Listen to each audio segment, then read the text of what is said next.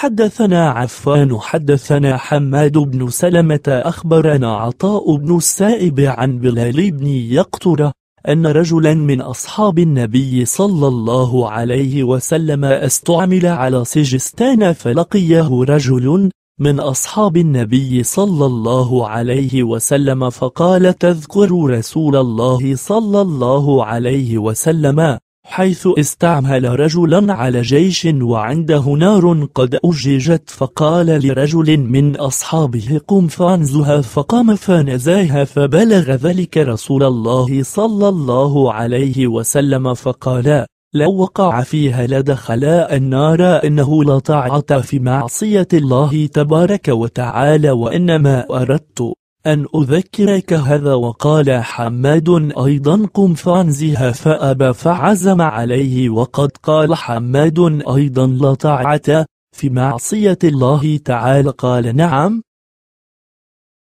حدثنا عفان حدثنا حماد يعني ابن سلمة أخبرنا عمار يعني ابن أبي عمار عن ابن عباس قال أتى علي زمان وأنا أقول أولاد المسلمين مع المسلمين وأولاد المشركين مع المشركين حتى حدثني فلان عن فلان أن رسول الله صلى الله عليه وسلم سئل عنهم فقال الله أعلم بما كانوا عاملين. قال فلقيت الرجل فأخبرني فأمسكت عن قولي